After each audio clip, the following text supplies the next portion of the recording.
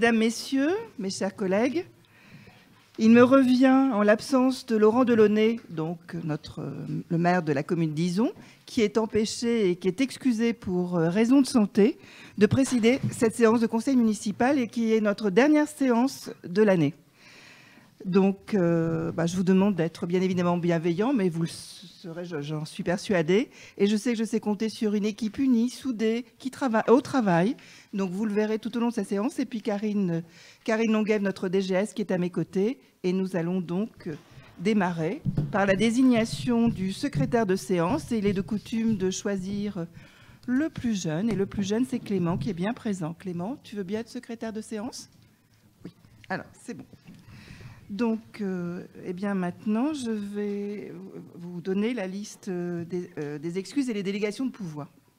Donc, Laurent Delaunay m'a transmis son pouvoir. Euh, Thierry Dubreuil a transmis son pouvoir à Serge Flao. Gilles Pruvot à Philippe Girard. Thierry Diraimer à Gilles Bouet. Marilyn Guiriec à Arnaud Gann. Frédéric Malville à Sophie Carrère. Et Ludivine Grasse-Piquet à Aline Fontaine. C'est bon? Voilà. Et nous accueillons notre doyenne, Chantal Caro, qui va prendre sa place. Et donc, nous n'aurons pas de pouvoir euh, en instance. Tout est bon. Chantal. Non, non, mets-toi à ta place, Chantal. Vas-y. Avance dans la, dans la... Comme ça, il n'y aura pas de chaise vide ici. Vas-y, avance.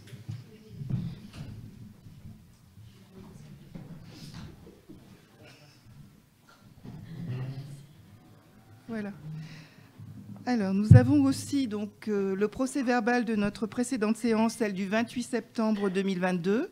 Donc, vous l'avez lu avec attention. Est-ce qu'il y a des, observations, des modifications éventuelles? Est-ce qu'une main se lève? Non. Donc, ben, nous allons euh, procéder à l'approbation de ce, PV. Euh, ben, écoutez, qui est contre? Qui s'abstient? Donc notre procès verbal est donc approuvé. Ensuite, eh bien, les registres vont circuler pour, euh, pour pouvoir les signer et que tout soit en règle. Une fois que c'est fait, nous allons rentrer dans le dur de notre conseil. Alors je précise que c'est un conseil municipal assez technique et vous le verrez tout au long. Donc j'espère que vous n'allez pas vous ennuyer, mais nous allons essayer de mettre le ton euh, pour un dernier conseil et nous allons euh, donc, euh, bah, je vais donner la parole à Yannick Clavier, qui, euh, qui va être Monsieur Finance, qui est Monsieur Finance, et ce soir, qui va tout nous expliquer de, des différentes délits qu'il a à présenter. À toi, Yannick. Merci. Donc, concernant la médiathèque, la médiathèque avance, certes, elle avance, mais comme évoqué lors du dernier conseil municipal, il y a du retard. La duraison, premier trimestre 2023. Ce qui nous oblige effectivement, euh, d'un point de vue financier, à reporter des, opérations de 2022 sur 2023. Donc, euh, sur la partie bâtiment, opération 39, 285 000 euros bascule de l'année 2022 à 2023, sans modification du coût qu'il est resté à, payer. Hein. Et sur l'opération euh, équipement de médiathèque, opération 49, euh, même sanction, 405 690 bascule de l'année 2022 vers l'année 2023 pour, euh, pour, des, pour du matériel informatique, des fonds documentaires et du mobilier signalétique. Il est donc demandé de modifier euh, la répartition de ces crédits de paiement pour l'année 2023 et donc un basculement de 2022 vers 2023.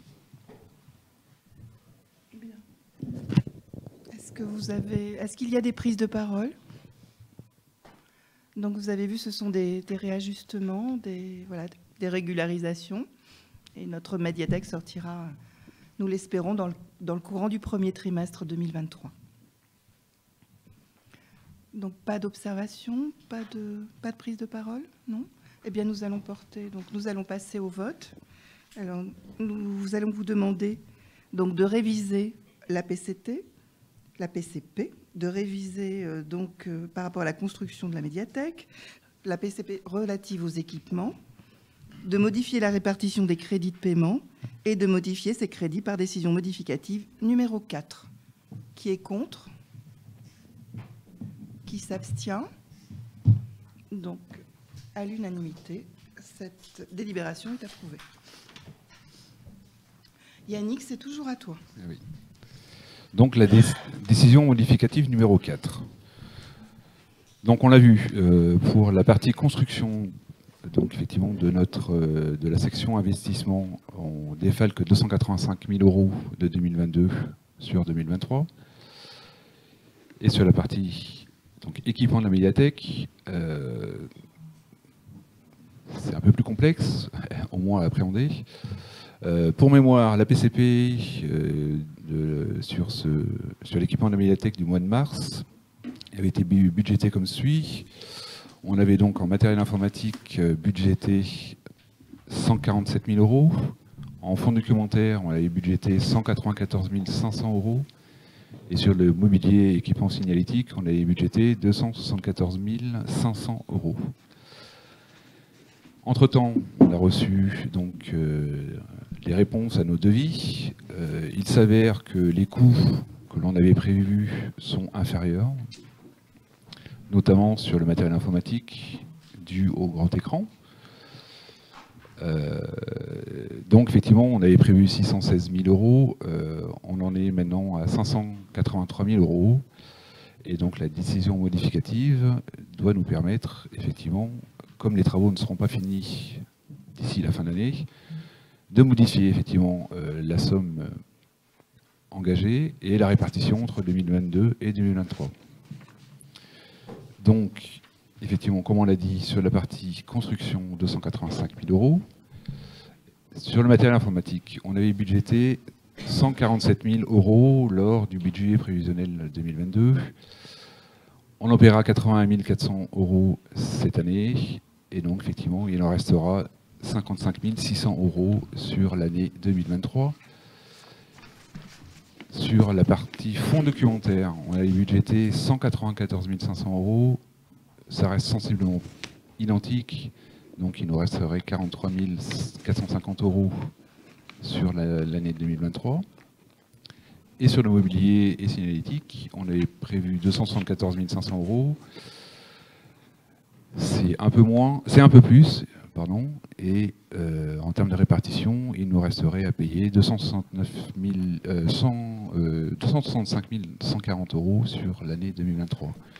Donc toutes ces sommes viennent se défalquer de notre section investissement pour 2022 et sont reportées sur 2023.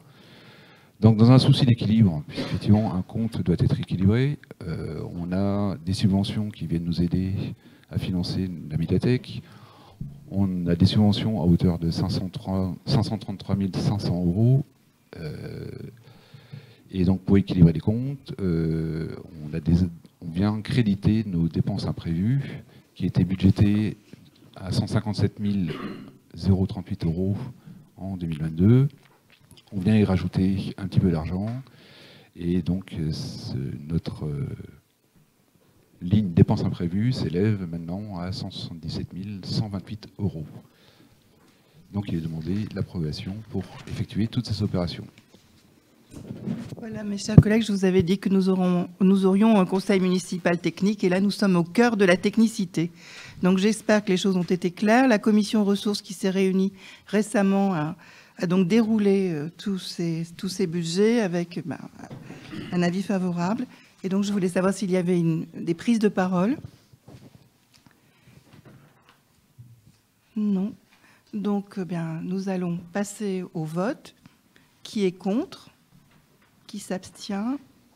Donc, un vote favorable à l'unanimité. Je vous remercie, mes chers collègues, parce que c'est vrai que euh, ces délibérations modificatives ne sont pas euh, d'une grande simplicité. Merci.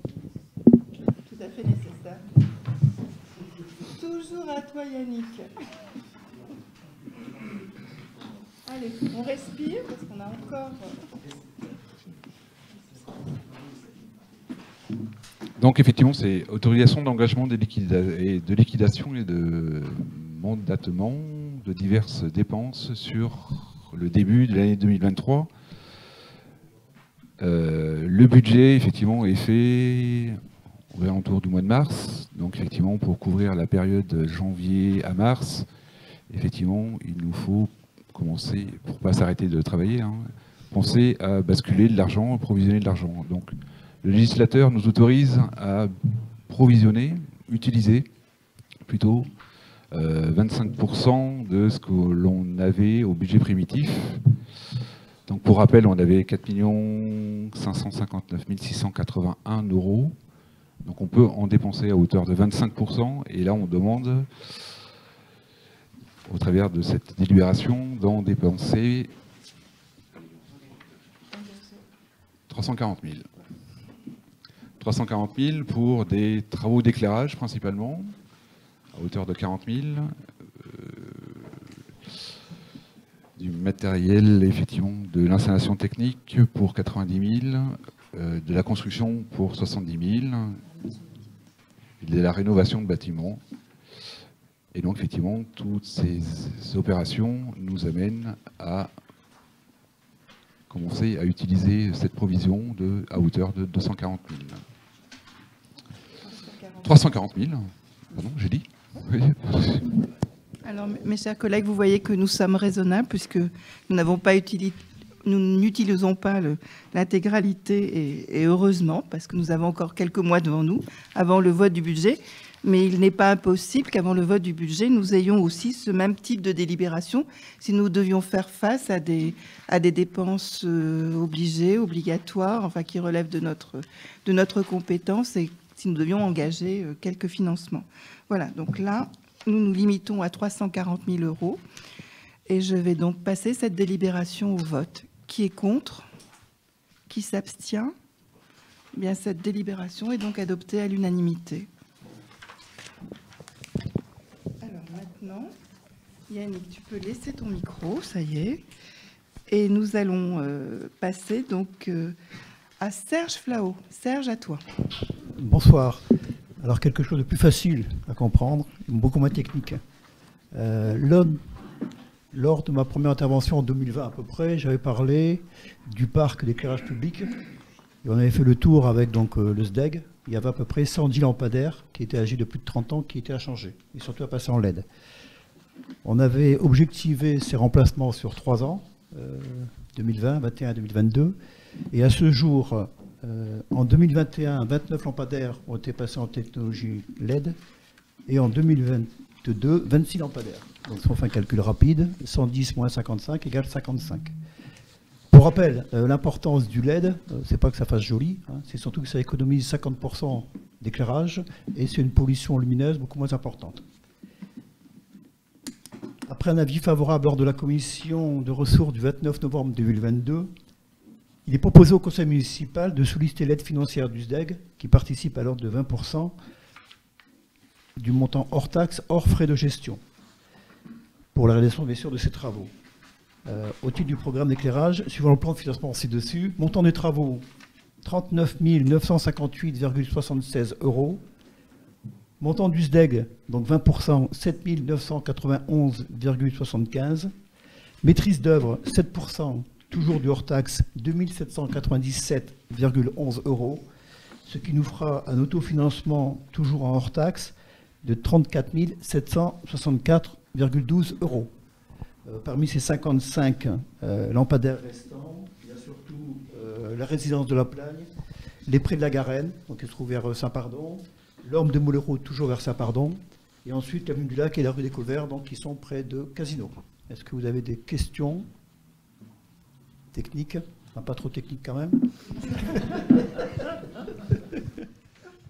Oui, j'ai une question à propos du SDEG ce syndicat qui nous fait payer 200% le prix du tarif euh, de l'électricité. Donc 20% euh, ok de subvention, euh, j'espère qu'ils diront pas non, hein, parce que c'est juste... ils nous rendent du bras gauche ce qu'ils nous ont pris du bras droit. évidemment, ils nous en rendent moins. On va pas non plus se mentir. Euh, je, je voulais savoir, et ça j'ai une question à Karine à, à poser, est-ce que le bouclier tarifaire sur l'électricité a été validé pour les collectivités territoriales? Pas pour nous, pas pour les autres. Pas pour nous. Après, il faut savoir que le, le, le groupement d'achat, donc au niveau du DEC, vous pouvez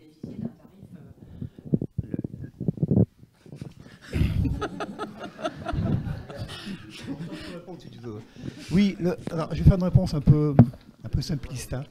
On critique souvent le SDEG. Alors ce qu'il faut savoir, c'est que tout ce qui est euh, tarif énergétique dépend de toute la région Nouvelle-Aquitaine. C'est-à-dire que ça ne dépend pas que du SDEG. Il y a toutes les communes, bah, le SDEG, euh, Lot-et-Garonne, toutes les communes Nouvelle-Aquitaine qui négocient le prix. Et par rapport à ce prix, il a été euh, négocié en mars 2023 pendant un an.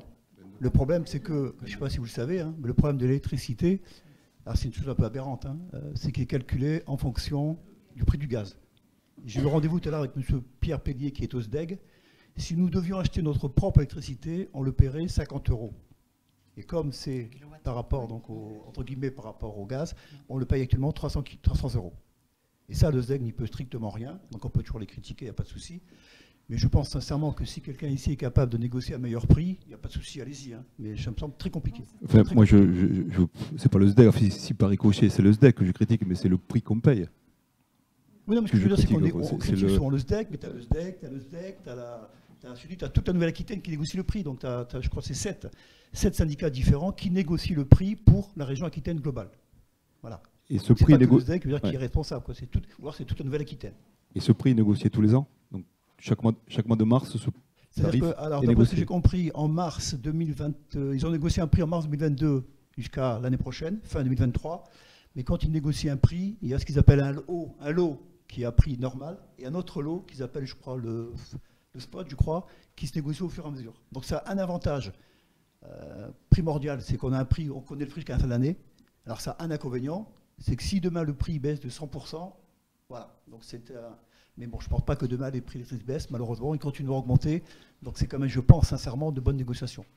Voilà. Oui, ce sont des prix négociés par rapport à un volume. Et donc plus, il y a de collectivités, plus il y a, de- plus il y a de, de syndicats, et meilleur euh, le tarif est, euh, est négocié. D'accord. Et donc, comme le prix de l'électricité baisse, le SDEC, il s'en met plein la poche. Non Si le, si le prix électrique baisse, le SDEG paiera le prix auquel il est négocié. Et c'est pas le SDEG, c'est toute l'Aquitaine. Par contre, s'il augmente fortement, on a un prix, nous, qui est négocié jusqu'à la fin 2023. Voilà. C'est comme quand tu prends un crédit, tu as pris un crédit, si le taux de crédit baisse, toi, tu auras toujours ton crédit. À moins de renégocier à la banque si t'es- Voilà, voilà c'est ça. C'est pas... Le SDEG ne s'en met pas plein la poche. Mais il s'en met bien sûr pour faire tourner les, bah, les interventions sur lampadaires, sur les- sur l'urbanisme, sur plein de choses. Voilà. Frais de gestion. C'est clair ou pas comme réponse euh Mais je n'assiste pas aux négociations du Non, non, non, non. Je- à- Non, mais je, voulais simplement comprendre comment ça, comment ça marchait. Bah voilà, c'est ça. Moi, je peux dire le calcul si tu veux. Je vais te le noter. J'espère que tu comprendras. Le prix de l'électrique, c'est deux fois le prix du gaz, plus 0,4 fois le prix du CO2. Voilà. Donc si tu as calculé, je te laisse calculer, mais je ne connais pas le prix du CO2. Par contre, on sait que le gaz, c'est grosso modo 2% à peu près de consommation. Et nous, on est fortement pénalisé parce que si on achetait que du nucléaire, on serait à 50 euros du, à 50 euros du kilowatt. Bah, du tétawatt, je ne sais plus. Voilà. Alors qu'on paye actuellement 300, 300, 300 euros. Et ça, c'est malheureusement un accord euh, niveau européen. Ok. Je Merci. t'ai convaincu ou pas? Non, non, je, pas- je- Moi, je une histoire de. Je ne de- suis pas convaincu, je t'ai expliqué. Oui, non, mais je te remercie. C'est pas une histoire d'être convaincu ou pas, c'est qu'une histoire, c'est que le prix de l'énergie aujourd'hui nous fait exploser le budget. Donc, euh, si on peut trouver des, des artifices ou des, des- des marges de négo ou, ou quoi que ce soit pour, pour nous simplifier la vie, autant le faire. C'est- ça que simplement que je cherche. Oui, oui. Mais si on n'avait pas, si on n'avait pas le- les prix négociés par toute la région de l'Aquitaine, je pense qu'on paierait beaucoup plus cher que ça encore. Oui, Voilà. c'est une- information qu'on a d'ailleurs euh, avec les, les personnes de la Cali que nous avons quand même, euh, enfin, que la négociation a été, a été bonne. Quoi. Enfin, voilà. Bon, bien évidemment, les choses étant ce qu'elles sont, c'est quand même un peu difficile pour notre budget, mais Le souci, c'est qu'on n'a pas de visibilité donc, sur l'année 2000 2023. On a une visibilité jusqu'en mars, mais après, euh, il y aura une nouvelle négociation. on a, on a encore besoin d'apprendre la circulation du micro. Il y, a, il y a une autre prise de parole? Non? Eh bien, écoutez, nous allons passer au vote. Qui est contre? Qui s'abstient? Donc, euh, vote favorable à l'unanimité. Ensuite, alors Delphine, tu te prépares, et c'est la participation financière aux frais de fonctionnement des écoles de Libourne et Sainte-Eulalie. À toi. Tout à fait. En fait, euh, on demande au conseil municipal d'autoriser le maire à signer une convention avec la commune de Sainte-Eulalie pour participer aux frais de fonctionnement d'un élève qui est scolarisé dans une classe Ulysse à Sainte-Eulalie. Euh, donc c'est pour payer les frais de, de, scolarisation.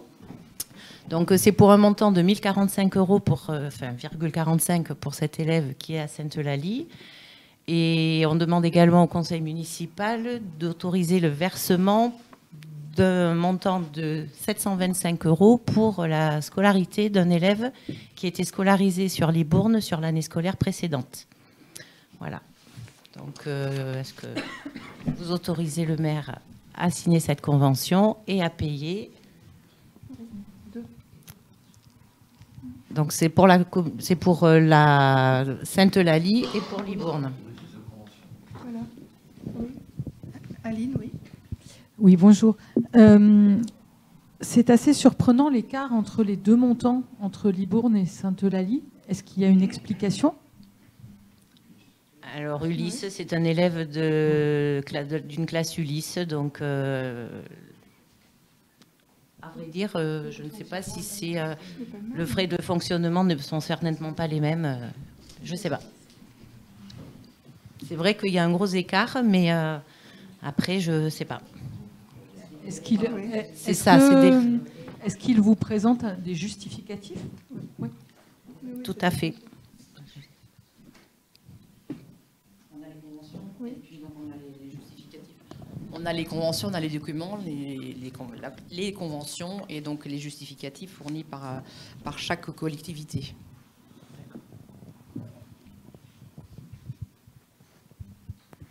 J'ai une question, je, suis un peu honteux de vous la poser, mais je vais vous la poser. Est-ce que nous, on facture à d'autres communes des, frais de... C'est la question que nous nous sommes posés. C'est justement la question que nous nous sommes posés. Euh, mais c'est vrai que euh, voilà, il faudrait savoir exactement parce que si on a des élèves de 8 ans qui sont scolarisés sur les communes limitrophes, euh, nous, on en a qui sont scolarisés sur ISAN, donc c'est vrai que c'est une question qu'on se pose et qu'on va étudier.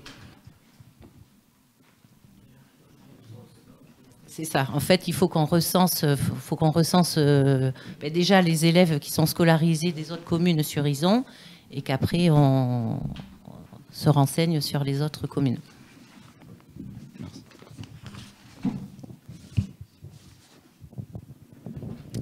Bien, bah écoutez, nous allons passer au vote. Donc il y a ces deux conventions. Qui est contre? Qui s'abstient? Donc euh, vote favorable à l'unanimité.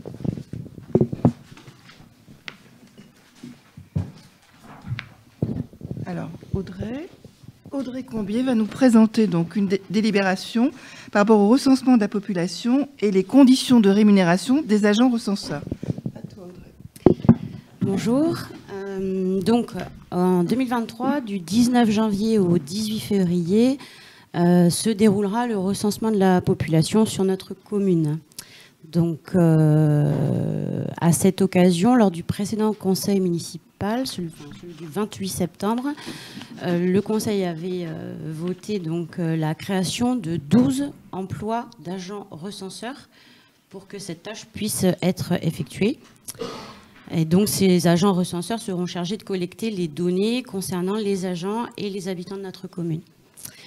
Il s'agit ce soir, en fait, de déterminer les modalités de rémunération de ces agents recenseurs. Il y aura donc deux types d'agents recenseurs. Une partie de ces agents sont des personnes qu'on aura recrutées pour l'occasion. Une autre partie fait partie du personnel, du personnel communal actuel. Donc, du coup, ça implique deux types de rémunération différentes pour le personnel communal actuel, qui a déjà donc un, contrat avec nous, il s'agira de calculer en heures et donc ils seront rémunérés en heures supplémentaires, en plus de leur temps de travail. Parce que généralement, le recensement, ça se fait le soir ou, ou le week-end. Et en revanche, pour les personnes qui seront recrutées, enfin, qui ont été recrutées euh, expressément pour le recensement, on a choisi de mettre en place une méthode de calcul qui va, être enfin, qui va dépendre des feuilles de logement et des bulletins individuels qui seront remis aux habitants. À chaque fois qu'un agent recenseur se rend dans un domicile, il remet une feuille de logement et en fonction du nombre d'habitants, il remet également un bulletin individuel papier et, ou Internet, puisque les gens ont aussi la possibilité de, de remplir euh, sur Internet. Donc du coup, ce soir, ce qu'on vous propose, c'est de valider euh, ces modalités de rémunération qui, pour les agents donc, recrutés expressément pour le recensement, euh, dépendra du nombre de feuilles de logement remis, à raison de 1,40€ par feuille de logement, et de bulletins individuels papier ou Internet, à raison de 2 euros par bulletin.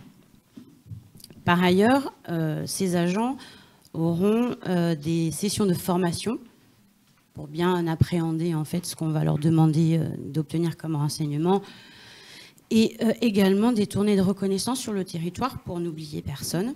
Donc ces euh, périodes de formation et ces tournées de reconnaissance, elles, sont calculées en heures sur la base en fait de l'indice brut qui est de 382 et de l'indice majoré de 352, ce qui revient à 11,26 euros de l'heure pour ces périodes forfaitaires qui correspondent aux formations et aux tournées de reconnaissance. Voilà. Donc s'agissant des agents communaux de l'autre côté, là pour le coup on est en heures supplémentaires.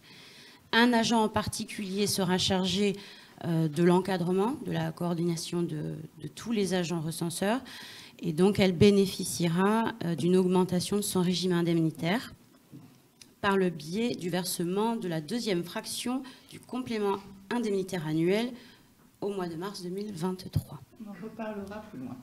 Il est donc demandé au conseil municipal euh, de valider, d'entériner ce mode de calcul qui finalement a, des avantages par rapport euh, à un calcul horaire, dans la mesure où ça permet d'être plus proche de la réalité du travail des agents recenseurs. Voilà. Donc mes chers collègues, nous allons passer au vote. Donc il s'agit donc d'être d'accord sur les bases de rémunération et puis bien évidemment ben, de prévoir les crédits nécessaires euh, sur le budget primitif 2023. Cela va de soi et je profite peut-être aussi pour redire, remettre l'accent sur les dates. Hein, le recensement 19 janvier, 18 février. Donc nous passons au vote. Qui est contre? Qui s'abstient? Donc c'est une délibération approuvée à l'unanimité.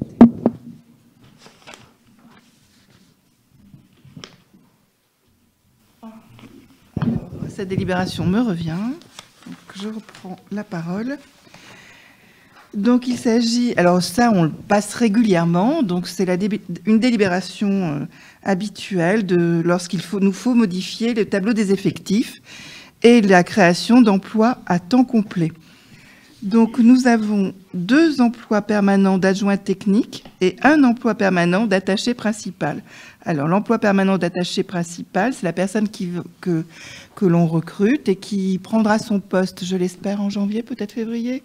Allez, on aurait aimé janvier, donc ce sera au 1er février, et qui va nous apporter donc euh, toute son expertise en matière juridique, etc., et qui remplacera un des agents qui a été muté par ailleurs. Et les deux emplois permanents, eh bien, ce sont deux, deux personnes qui travaillent déjà sur la commune et pour lesquelles une régularisation est nécessaire. Donc, euh, on a les services techniques et puis le service entretien.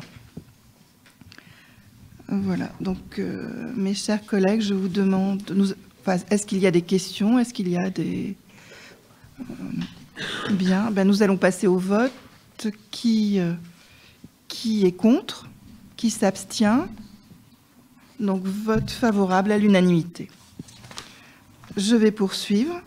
Alors là, nous sommes gâtés parce que c'est encore une délibération très technique. Je me souviens avoir fait une présentation il y a de cela quelques mois du nouveau régime indemnitaire, vous savez, avec une part fixe et une part variable. Et puis dans la part variable, il y avait encore des choses qui variaient.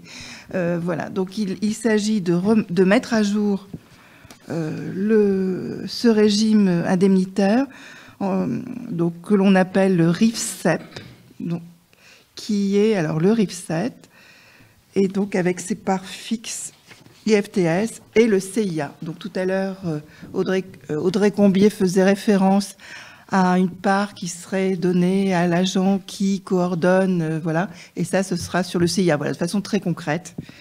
Donc nous rentrons dans, voilà, dans, est-ce que dans le dur du régime indemnitaire, et puis nous savons que nous y reviendrons bien évidemment avec bien quelque chose des, indemnités qui sont versées au mois de décembre et d'autres euh, au mois de mars au vu des, entretiens euh, annuels qui sont en train d'être euh, réalisés par, les chefs de service. Voilà, on est là dans le grand mouvement des, des entretiens annuels et puis des vœux des agents, des formations à la clé. Et voilà. Est-ce que, est que je rentre dans le détail? Non, vous n'avez pas envie. Donc demain, nous avons les élections du personnel et vous verrez que nous rentrerons dans d'autres détails. Jeudi, pardon, pas demain, jeudi. Nous rentrerons bien sûr dans d'autres détails avec des modifications aussi. Euh, CT, CHS, tout ça fusionne. On verra tout ça au fil de l'eau, tranquillement. Et puis, je vous invite à participer à la réunion, euh, à la commission ressources, parce qu'on on, aura les détails de, tout ceci. Donc, mes chers collègues, nous, je vous demande donc de... Nous allons passer au vote. Qui est contre? Qui s'abstient? Eh bien, vote favorable à l'unanimité. Ensuite, eh bien, je garde encore la main, parce qu'il s'agit encore de ressources humaines. Et là, d'un contrat, d'un contrat que nous passons avec euh, le centre de gestion donc, euh, le centre de gestion de la fonction publique territoriale de la Gironde, vous savez que nous, comme nous disons, eh bien, nous, sommes, nous, avons un certain nombre de, choses qui relèvent du centre de gestion, donc euh, l'avancement des, agents, les, visites médicales. Et là, nous proposons donc euh, un, contrat qui veille à peut-être réduire les risques psychosociaux, hein, voilà, à faire en sorte que les agents euh, travaillent, euh, bien euh, dans, dans une ambiance agréable. Alors on le souhaite.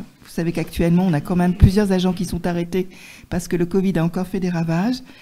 Donc voilà, donc cette délibération, elle va être utile au niveau du service de médecine préventive. Voilà l'objet donc de la, de la délibération. Et, euh, voilà, et la prestation, c'est un coût par agent qui est de 65 euros si on utilise, bien sûr, si on utilise le service. Voilà. Est-ce que vous avez des questions? Non Eh bien, je vous propose de passer au vote. Qui est contre? Qui s'abstient? Donc, vote favorable à l'unanimité. Et je garde encore la parole. Et nous, alors nous avons quelque chose de beaucoup plus agréable puisque c'est la fin de l'année et c'est le moment donc euh, des, euh, bien de faire passer euh, les, cette, délibération concerne donc l'attribution de chèques cadeaux au personnel communal et de jouer aux enfants du personnel. Alors c'est une, délibération habituelle.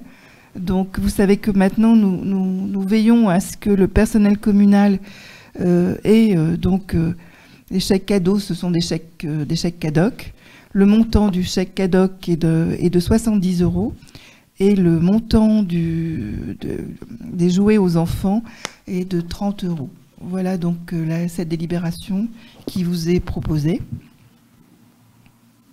Est-ce qu'il y a des prises de parole? Non. Ben. Donc, eh bien, je mets au vote cette délibération. Donc, qui est contre Qui s'abstient Eh bien, vote favorable à l'unanimité. Et là, je... Et merci.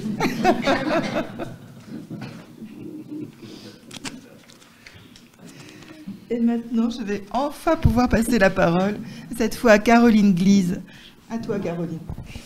Euh, oui, bonsoir à tous. Donc, dans le cadre euh, des hum, travaux d'aménagement de l'avenue du maréchal de Lattre de Tassigny que nous envisageons et pour lequel le projet d'aménagement a fait plusieurs allers-retours avec euh, le centre départemental euh, routier.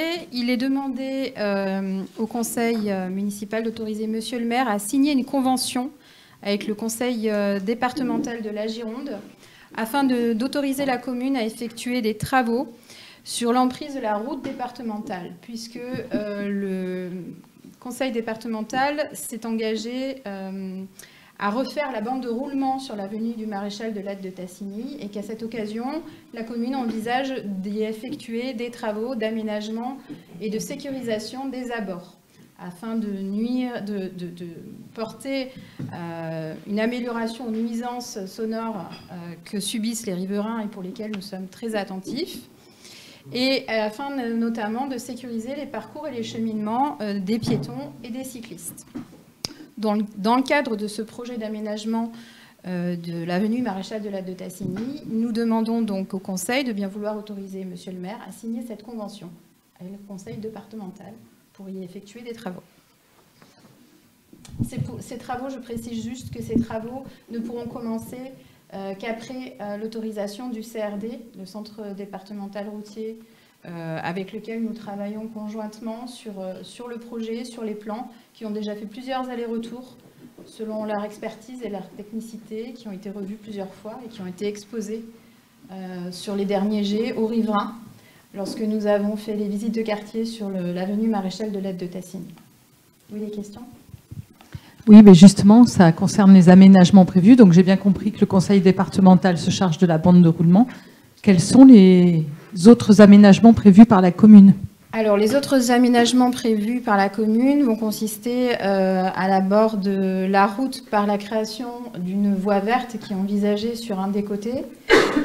Et euh, ces travaux d'aménagement, on espère encore euh, et, on, est, à la tâche sur le sujet avec le conseil, avec nos, amis du conseil départemental de la Gironde, pour obtenir un soutien financier et un une contribution qui nous permette de contribuer, de, concrétiser ce projet-là. Euh, je précise que les travaux sur l'avenue Maréchal de l'Aide de Tassigny envisagés englobent aussi la portion de la route euh, qui mène à la zone industrielle d'Anglumeau, euh, puisque il est, il est entendu avec les services de la CALI que une partie de, ce que nous octroie la CALI sur la, sur l'aménagement de cette zone soit directement euh, crédité à cet aménagement. Donc euh, l'avenue Maréchal de l'Aide de Tassigny, il va y avoir des aménagements routiers prévus par le département et nous allons y déborder sur la, sur la route d'Anglumeau pour, euh, pour accompagner jusqu'au bout et jusqu'à la zone industrielle ces travaux d'aménagement. Et donc la Cali concourt à sa hauteur à, cette portion d'aménagement sur la route d'Anglemont. Pour tout ce qui est des aménagements cyclables euh, ou piétonniers, nous, avions déjà proposé euh, notre candidature en répondant à un appel d'offres. Pour, celui-ci, nous n'avons pas été euh, retenus puisque les enveloppes à l'époque octroyées étaient vides. Il n'y avait plus de crédit à obtenir, en fait, tout avait été déjà octroyé. Donc nous ne désespérons pas, nous sommes à l'affût des prochains appels à projets et le projet a été revu, retravaillé pour faire en sorte de, euh, s'inscrire dans les appels à projets qui vont être ouverts et on, espère, avec les, annonces qui ont été faites euh, par la ministre, euh, par la première ministre sur les aménagements cyclables et les crédits ouverts à partir de 2023, être force de proposition et être prêt pour décrocher ces subventions. Donc concrètement, on parle d'un trottoir, d'une piste cyclable. Une voie verte. Donc la voie verte euh, combine les piétons et les cyclistes sur le même, euh, sur le même euh, itinéraire, puisque l'étroitesse de la route ne nous permet pas de combiner une piste cyclable, une zone piétonne identifiée et le passage au croisé de deux camions, puisque c'est une route empruntée par les camions pour aller à la zone d'Anglumeau, mais c'est aussi une route départementale qui est autorisée au passage des convois exceptionnels. Donc nous sommes contraints par toute cette technicité. Et euh, le projet qui a été euh, le, plus adéquat à cette portion de route est celui-ci. Et y a-t-il des aménagements prévus pour ralentir la vitesse des camions? Oui. Il y a des aménagements prévus qui sont, euh, qui sont pour l'instant en, projection sur la mise en place d'un feu à vocation pédagogique comme sur la route de Saint-Sulpice, entre Saint-Sulpice et, Saint-Louvès. Euh, il y a donc, en fait, cette portion de route va être réduite au croisement des camions. Donc l'emprise sur la route va être réduite à 5 mètres pour que, de fait, les camions qui se croisent ajustent leur vitesse pour, pour ne pas accrocher les rétros quand ils se croisent. Donc c'est ce qui a été fait sur la portion du coin, avec euh, les passages en, olive, ou je ne sais pas, je ne connais pas le terme technique, peut-être Serge le connaît mieux que moi. Mais voilà, il est prévu euh, des aménagements de type écluse et un feu, euh, feu pédagogique. il est également prévu de rajouter un passage piéton. Voilà. Moi, j'ai une question, Caroline, c'est euh, sur les délais. La validation du CRD, ça va prendre combien de temps Est-ce qu'on a une idée à peu près Parce que tu parles d'aller-retour entre les, nous, le CRD. Pas, euh, en fait, le CRD euh, en l'état étudie, mais c'est pas ça qui prend le plus de temps. En fait, ce qui prend le plus de temps, c'est l'inscription aux, aux, travaux de réfection de la bande de roulement par le département lui-même, qui ne dépend pas en fait de la, de la validation du CRD. Ce sont deux choses distinctes. Donc on est contraint par le calendrier que fixera le département euh, et le conseil départemental. Et euh, la technicité du CRD, c'est une chose essentielle, mais ce n'est pas une chose bloquante en termes de délai. Et ce qui laisse envisager un début des travaux quand? Alors nous poussons au maximum euh, auprès des conseillers départementaux pour que nous soyons inscrits en 2023 sur les, travaux de réflexion de la bande de roulement de, cette portion-là, sachant que Vert aurait dû démarrer euh, ces, travaux de réflexion de la bande de roulement. C'était prévu pour fin 2022, début 2023. Nous sommes en décembre. Vert était prévu avant nous, ils n'ont toujours pas entamé leurs travaux, donc on va être derrière euh, les, agents et on va réitérer nos demandes pour figurer en 2023 au, travaux, au tableau des travaux. Merci. Mais vous le verrez au prochain, au prochain vote euh, du budget, euh, on inscrira ces travaux qui, pour, la, pour une certaine partie, avaient été déjà budgétés sur, sur 2022, puisqu'on espérait que ça démarre début fin 2022, début 2023. Euh, et, ce sera reporté, bien évidemment, sur l'exercice suivant. Mm. Oui Oui, oui, je n'ai pas précisé la technicité de tous les aménagements routiers. Euh, en plus du passage euh, plus étroit pour les camions, il va y avoir un rond-point qui va être créé à la sortie de la zone industrielle d'Anglumeau, qui va permettre une meilleure insertion euh, pour les véhicules qui sortent et qui, pour les riverains qui habitent aux abords de la zone industrielle, de manière à, s'insérer avec plus de sécurité sur euh, la départementale. Et également sur ce rond-point seront aménagés des itinéraires euh, piétons et cyclistes pour que la traversée de ce carrefour soit entièrement sécurisée. Donc ceci a un coût et il, est, il est important que ces travaux soient réalisés puisqu'on est très sensible euh, aux demandes des riverains qui habitent ce quartier et aux enfants qui, sont susceptibles d'emprunter cet itinéraire pour se rendre à l'arrêt de bus Graneil qui est juste à côté. Merci beaucoup Caroline pour toutes les précisions que tu as pu apporter. Donc vous voyez, c'est un dossier qui est suivi et, bien suivi. Donc euh, nous allons maintenant passer au vote.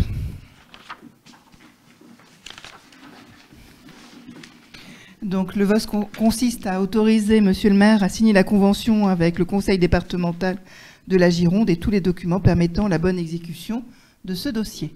Qui est contre? Qui s'abstient Donc vote favorable à la majorité. Car, à l'unanimité, pardon. Écoutez, j'attends, j'attends le moment où il y aura un vote favorable à la majorité. Bien. Euh, Caroline, tu poursuis. Euh, oui. Alors, ce... voilà, il s'agit là d'une acquisition de parcelles de terrain, d'un terrain qui appartient à la SNCF et qui a une superficie d'environ 44 000 m2 Ce terrain avait fait l'objet euh, d'une demande euh, euh, spécifique pour essayer de créer un bassin de rétention des eaux pour qu'on ait une meilleure dynamique hydraulique sur la commune et, pallier aux problèmes justement en cas d'intempéries comme on a pu le vivre précédemment. Donc il est demandé aujourd'hui au conseil municipal de permettre à monsieur le maire d'acquérir euh, de signer, de signer pardon, euh, euh, les actes, de faire signer les actes auprès du notaire. Alors la SNCF a émis quand même deux conditions préalables pour lesquelles nous sommes prêts à consentir. Je vous, je, vous, indique quand même les deux conditions. La parcelle devra être clôturée, faire l'objet d'une clôture de 2 mètres et une servitude euh, euh, d'accès devra être créée pour permettre euh, donc un accès aux emprises SNCF par la suite.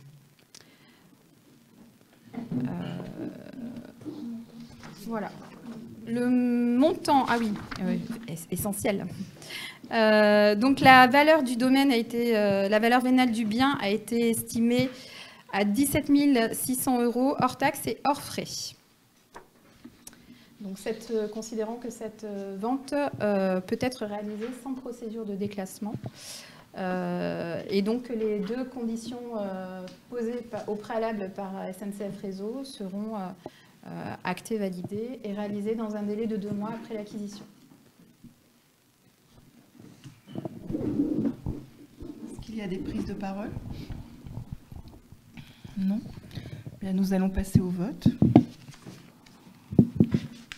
Donc il s'agit d'autoriser euh, eh soit monsieur le maire ou, la première adjointe à signer les actes et puis, et puis le paiement des, frais d'acquisition du bien ainsi que les frais de réquisition, de publication, enfin les frais d'usage.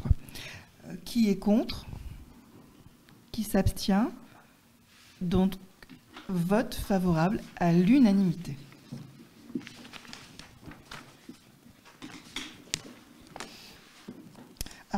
Alors, à l'ordre du jour, nous avons aussi une régularisation.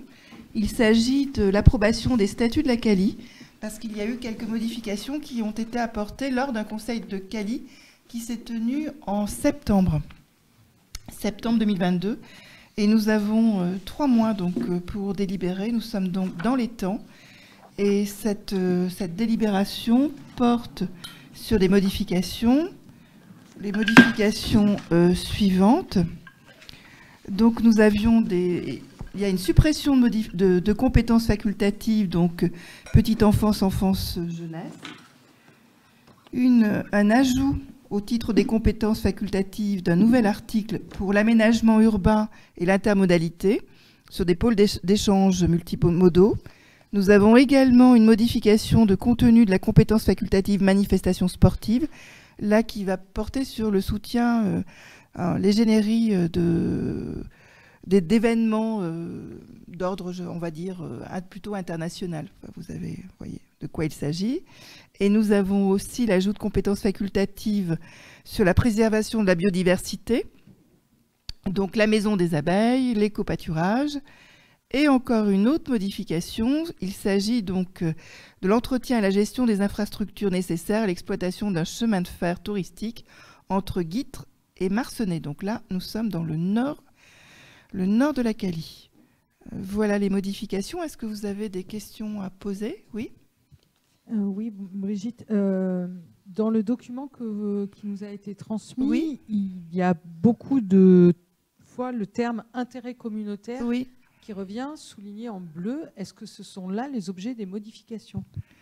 Oui, parce que nous avons été obligés, oui, oui, de modifier les, euh, statuts de la, de la, CALI. Vous savez que la CALI intervient dans certains domaines lorsqu'il s'agit d'intérêts communautaires, notamment en matière de, dans les domaines que je connais davantage, qui sont euh, la culture. La CALI n'a pas la compétence culture, mais elle a des équipements d'intérêt euh, communautaire. Donc voilà, lorsque ça touche plusieurs communes de la Cali lorsque voilà, nous pouvons être impactés. Voilà, ce que, voilà pourquoi nous parlons d'intérêt communautaire. Et donc, C'est cette notion-là. oui. Par qui est défini Ah, bien c'est euh, dans le dans, euh, dans les l'intérêt communautaire euh, c'est sur c'est des lorsque la, CALI a été a été créée, elle- il y a tout un Non, non, Brigitte, Pardon, je voudrais pardon, des précisions. Oui. Euh, par exemple, sur euh, les équipements sportifs ou la Oui. politique du logement, par qui et comment est défini l'intérêt communautaire? Alors là, ce sont des travaux qui se font bien évidemment en commission et quelquefois on voit qu'on est bloqué, qu'on ne peut pas avancer sur un certain nombre de sujets. Donc forcément, l'intérêt communautaire est, euh, euh, interrogé et, c'est à ce moment-là qu'il y a des, modifications qui doivent être, qui doivent être apportées. Est-ce que je ne sais pas si c'est clair ce que je vous dis, mais je pense qu'un jour, oui, oui, oui, on a des débats internes, enfin, vous, les voyez, enfin, nos débats au, sein de la, Cali. Vous l'avez entendu, le dernier débat que nous avons, que nous avons eu, là, qui est très, très, très chaud par rapport, euh, allez, je le lance, le SMIGAL notamment. Oui, mais c'est bien ça qui me pose question. Oui, bah, je m'en doutais. qu'on vote un changement de statut sans savoir exactement ce qu'on vote. Non, là, c'est très clair. Ce qui vous est présenté là, ça a été voté donc à la Cali, ça a été travaillé par les élus communautaires. Donc vous avez euh, dans, dans le groupe. Oui, mais il n'y a euh, aucune précision sur la façon dont, euh, par exemple, sur la politique du logement, comment est défini l'intérêt communautaire. Ça peut varier euh, d'une année sur l'autre, donc si j'entends bien. Ah non, non, non, non, non, parce que ce sont des, des plans quand même qui sont sur, qui durent sur, sur plusieurs années. Peut-être qu'il faudrait, à mon avis, voilà, ce qu'il faudrait que l'on fasse, c'est que l'on se pose et qu'un jour on fasse une restitution des travaux, euh, des travaux en Cali. Il me semble que si l'on veut s'approprier donc euh, euh, cette culture euh, Cali, puisque nous en faisons partie, il va falloir que l'on se pose et que l'on discute euh, ensemble, que l'on ait euh, peut-être un temps de formation, de séance de travail pour voir ce qu'on y met, ce qu'on veut y mettre, où on va, etc. Peut-être qu'un jour, on aura envie de travailler, euh, bah, de mettre la culture euh, comme, comme vraiment important au sein de euh, au sein de la, de la communauté de la Cali. Des compétences, par exemple, de la lecture publique. La lecture publique n'est pas une compétence de la Cali. Est-ce qu'un jour on ira? Vous voyez, on a un intérêt, nous, avec la médiathèque, d'avoir aussi un certain nombre de choses. Mais ça, ce sont des débats que l'on a à avoir ici en conseil municipal et aussi à la Cali. Là, grosso modo, ce qu'on vous présente ce soir, c'est une régularisation. Il y a une délibération qui est passée à la Cali en septembre. On a trois mois, nous, pour délibérer. Et c'est quelque chose qui est, euh, voilà, que, l'on doit équilibrer. Oui, En fait, la question, je crois que ce n'était pas tout à fait celle-ci, oui. c'était la question des critères, euh, puisque certains projets, euh, des fois, sont présentés par euh, des communes à la Cali, Oui, des projets qui sont présentés comme d'intérêt communautaire, et suite à l'examen du projet, eh bien, il n'est pas, il est refusé, en fait, le projet, puisqu'il ne correspond pas à un intérêt communautaire. Quand il y a eu la médiathèque, euh, la Cali s'est posé la question euh, si cette médiathèque, qui était sur le sud de, de Oui. la Cali, était d'un intérêt communautaire ou d'un simple intérêt communal. Donc la question qu'on se posait, c'était est-ce que euh, c'est- c'est pas l'objet même, oui, mais c'est les critères les critères. qui, euh, qui entraînent une certaine équité en, Tout à fait, fait. en, Mais- en termes de présentation de projet. C'était Oui, juste mais ça la vous question. imaginez qu'on y travaille. Oui, Et c'est pour ça que l'on a obtenu un fonds de concours pour la, pour la médiathèque et un fonds de concours assez conséquent. Donc on veille à ce qui se passe sur le mais il a fallu le territoire. défendre. À défendre. communautaire. À défendre, oui, tout à fait. Mais c'est pour ça qu'il me semble que ce sera important de, de- de prévoir une séance de travail à, à ce sujet. Enfin, si vous le voulez bien, on verra à quel moment on pourra, on pourra le faire. Mais on a, je crois, une fois par an, un bilan, euh, un rapport d'activité de, de la Cali. Et peut-être que là, et on pourra anticiper aussi, parce que j'entends bien que vous souhaitiez, et vous avez tout à fait raison, de anticiper sur un, certain nombre de choses et on va le faire. On a notamment, vous savez bien que c'est la Cali qui, euh, qui a le développement économique. On en parlait tout à l'heure avec euh, Delattre de Tassigny. On a peut-être des choses à fouiller. On a peut-être des choses, on place peut-être à côté d'un certain nombre de programmes. On a un gros programme actuellement de rénovation de l'habitat et je ne sais pas s'il est suffisamment connu où les, où les administrés euh, ici, les isonnés peuvent bénéficier de soutien et d'aide pour, euh, pour en- en, euh, ah oui, voilà, à travers. euh, voilà, donc il faut qu'on utilise la Cali. On, voilà, il faut qu'on l'utilise vraiment. Enfin, c'est chez nous, nous y sommes et nous, voilà.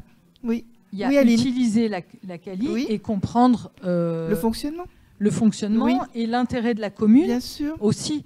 Et, Tout à euh, fait. moi, ça me pose vraiment question quand je vois euh, la façon dont, dont, sont tournés ces statuts, où euh, l'intérêt communautaire sur des équipements majeurs, il n'y a, a, pas de critères, c'est-à-dire qu'on ne sait pas si la commune va avoir un intérêt ou au contraire, euh, est-ce qu'elle va y perdre C'est faculté, oui Non, non, non, oui. C'est en fonction du projet présenté par, par exemple, la commune, disons, sur un équipement sportif. Est-ce qu'il pourrait être considéré comme un intérêt communautaire et quels en sont les critères? Ou est-ce qu'il pourrait être refusé au titre d'un simple intérêt communal? C'est ça la question. Oui, mais ça marche dans les deux sens. Absolument. Euh, voilà, ça marche tout à fait dans les deux sens. Par exemple, la, la, CALI peut décider sur des équipements sportifs, et je pense notamment au City Stade, parce que ça a été le cas il n'y a pas bien longtemps, de, de regarder l'existence sur le territoire, de, de, voir où il peut y avoir des manques et de dire, eh bien là, voilà, nous, euh, nous Cali, nous souhaitons euh, participer euh, à, la, à, la, mise en place, à, à la création de City Stade. Alors, le nombre va être fixé en fonction du coût, etc. Et voilà comment on répartit, on peut répartir. Mais tout ça, ça fait l'objet d'un gros travail en amont. Je sais pas. Je pense que je, on répond pas forcément à votre question parce qu'il faut vraiment qu'on ait une, sé, une, séance de travail. Et euh, ça me paraît euh, comment? Ce que je trouve dommage, c'est d'avoir la séance de travail après le vote et pas avant le vote, Brigitte. Oui. Mais, mais c'était, oui, ça, ce sont des choses qui ont été vues. Regardez, ça date de septembre, donc forcément, ça a été vu en amont. Voilà, et, et, le ressource, et puis plus loin, avant, avant le vote de la Cali, il y a eu, il y a eu euh, bien sûr de. Après, moi, si je peux juste me permettre, euh, la création euh, d'une compétence facultative, l'attribution d'une compétence facultative à la Cali sur certains domaines où, pour l'instant, on nous opposait une fin de non-recevoir au titre de l'intérêt purement communautaire, enfin com communal justement, et non pas intérêt communautaire pour moi, je l'entends comme une ouverture de possibilités et pas comme quelque chose qu'on va euh, nous réfuter. Euh, plutôt comme une porte entrouverte justement pour les projets qui seraient à même d'être présentés à la CALI pour essayer de trouver des solutions de financement, de création et qui vont nous permettre d'aboutir dans nos projets au titre d'un intérêt communal et intercommunautaire. Enfin, on dit la même chose, Caroline. On dit la même chose, oui. mais c'est juste la question du critère. Oui. C'est tout. Oui. Voilà. Mais on dit la même chose.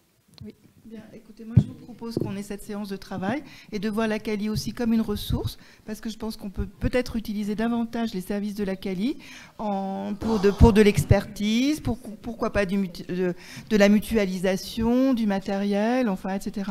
Donc euh, voilà, mais tout ça, bien, c'est une, on va, on va avancer et on va prendre cette culture-là. Est-ce que voilà, donc euh, le débat est encore ouvert. Et, donc nous allons passer au vote. Donc nous allons devoir approuver les modifications des statuts de la communauté d'agglomération du Libournais portant sur les compétences facultatives et les modifications traduites dans le projet de statut que vous avez donc notamment eu et les modifications que je vous ai euh, données. Euh, qui est contre? Qui s'abstient? Alors le voilà, le vote, le vote favorable à la majorité. Il est arrivé là. Je vous, quand même, je vous rappelle que vous avez un élu aussi à la qualité. Ensuite, vous êtes d'accord avec nous Allez, nous reverrons ceci très bientôt. Nous avons maintenant, alors ce n'est pas, euh, ce n'est plus une délibération. Il s'agit d'une motion. Alors vous l'avez lu, cette motion. Il s'agit du soutien à la pêche professionnelle de la lamproie. Donc euh, plusieurs, je souris parce que c'est euh, plusieurs communes ont déjà délibéré à ce sujet. C'est un, euh, nous avons des fans de pêche à l'emploi, des consommateurs de l'emploi, et nous nous sommes dit que ça valait peut-être la peine de suivre, de, de suivre le mouvement, de l'accompagner et de le nourrir aussi. Donc je ne sais pas si vous êtes des amateurs et des amatrices de, de l'emploi ou de pêche à l'emploi, mais voilà donc la motion. Est-ce que vous souhaitez que je vous la lise, puisqu'il s'agit d'une motion? Je pense que je suis... Voilà. Alors je vais vous la lire tranquillement. Alors, suite à la décision du tribunal administratif de Bordeaux le 5 mai 2022, au nom du principe de précaution, l'arrêté préfectoral autorisant et réglementant la pêche de la lamproie en Gironde doit être abrogé. La commune d'Ison attire l'attention des services de l'État et des parlementaires sur le bien immatériel que constitue cette tradition locale. Donc, on y va. La pêche à la lamproie constitue un élément du patrimoine vivant de la vallée de la Dordogne et de la Garonne. La tradition culinaire du plat de lamproie ne laisse personne indifférent. La pêche à la lamproie aujourd'hui encore est une activité de pêche traditionnelle en eau douce qui participe à l'activité économique d'une trentaine de pêcheurs, mais également de marailleurs, conserveries, restaurateurs, viticulteurs et maraîchers. La pêche à la lamproie, qui pique la curiosité, favorise la découverte de cette agnate, poisson primitif local, elle est un élément d'attractivité touristique pour notre territoire. Alors voilà, donc si vous en êtes d'accord, donc voilà, voilà la motion. Les élus du conseil municipal de la commune d'Ison décident de soutenir la pêche professionnelle à la lamproie, soutenir les mesures de nature à juguler la prolifération des silures, prédateurs des lamproies, et soutenir l'inscription de cette pêche au patrimoine culturel immatériel de l'UNESCO. On n'a peur de rien. Donc, alors, Karine, dites-moi, quand on a une motion, que fait-on On la pose, on dit, voilà. On la vote quand même, cette motion? Allez, on y va. Alors, qui... Allez, si je commençais par euh, autrement, tiens, pour la lamproie. qui est pour? Allez, ça oblige à nous... Allez, on lève la main comme ça. On fait un petit, geste. À l'unanimité? Oui? Allez, j'ai pas vu de. Eh bien voilà, la motion sera. Je ne sais pas si elle sera utile, mais elle, participera. Alors nous avons. Nous, ce n'est pas terminé, c'est presque fini, mais ce n'est pas encore complètement terminé, puisque nous avons les décisions du maire. Donc les décisions du maire, je vais vous les donner. Vous les avez dans vos dossiers. Et on peut peut-être. Euh, voilà. Je vais quitter la lamproie. Alors nous avons plusieurs décisions. Je vais peut-être... Euh, je les ai une par une. Donc c'est une, une, décision qui concerne l'acquisition de la parcelle à titre gratuit. Vous savez, nous en avions déjà parlé. Donc ce dossier a, avancé. C'est une parcelle qui se trouve euh, à Mocaillou. Donc c'était l'euro symbolique et voilà. Et c'est une régularisation parce que nous avons avancé sur ce dossier. Nous avons ensuite donc euh, ben, passé un marché parce qu'il faut que, la médiathèque avance et puis qu'on puisse euh, ben, travailler avec, euh, avec l'informatisation de la, de, la, de la médiathèque. et l'entreprise a donc été, a été choisie.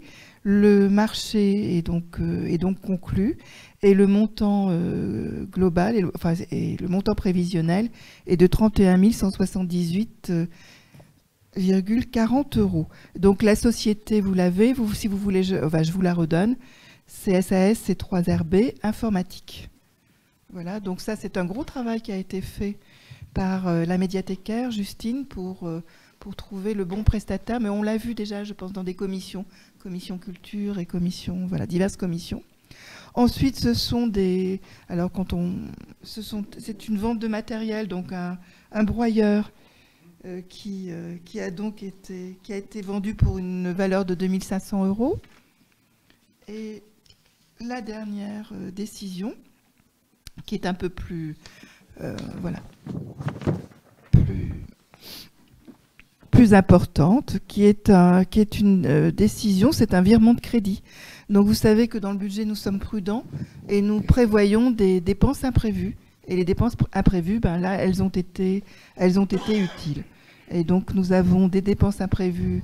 Euh, donc nous avons du fonctionnement, nous avons euh, là-dessus la rémunération du personnel non titulaire, du personnel, euh, voilà, sur deux, sur deux, deux, trois. Et nous avons aussi des intérêts réglés à l'échéance, ça c'est l'intérêt du prêt voilà. Et également des titres annulés sur exercice antérieur. Voilà, et tout ça, c'est la CAF, les, titres annulés sur exercice antérieur. Donc c'est toujours notre, notre histoire de CAF qui, peut, qui se règle peu à peu.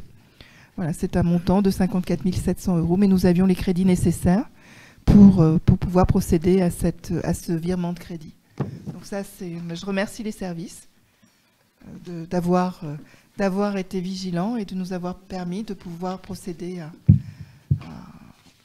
voilà, à, ces, à, cette, à,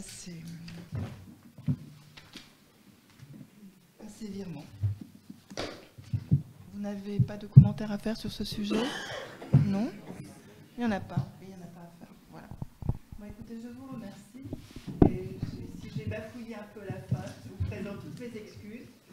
Et nous souhaitons un bon rétablissement à Laurent qui nous regardera peut-être en conclusion. Et j'espère que les collègues ont été euh, présenter leur, leur, projet avec brio.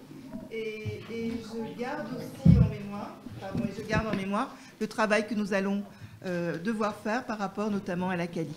Ben, je vous remercie mes chers collègues. On se retrouvera très bientôt. Je vous souhaite une bonne fin d'année. Nous avons quelques festivités tout bientôt, donc euh, avec, euh, avec bien ceux qui œuvrent au quotidien ici euh, pour la commune, c'est-à-dire euh, le personnel municipal. Donc voilà, il est encore peut-être encore temps de vous inscrire si vous ne l'avez pas fait pour le Noël du personnel, le repas, les enfants, etc. Et puis je vous invite aussi à participer samedi à 10h à la réunion concernant le PLU qui va se tenir salle des fêtes. Et nous serons accompagnés par le cabinet qui, voilà, qui, qui nous suit et qui nous aide à mener cette, euh, cette, euh, bah, c'est- et à mener cette réunion et à mener justement euh, cette révision. Voilà, mes chers collègues. Et je vous remercie encore. Et, j'espère que la prochaine fois, le maire sera présent. Et c'était pour, pour reprendre sa place comme il se doit. Merci.